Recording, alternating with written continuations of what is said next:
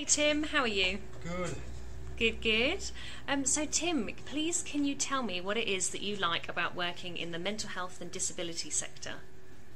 So I've worked in the mental health and disability sector now for about 10 years.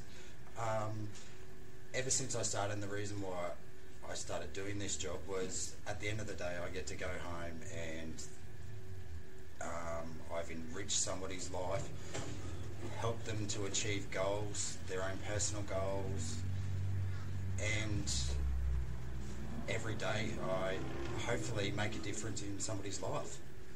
That's great. Thank you, Tim. Uh, enjoy your coffee break. No worries, thank you.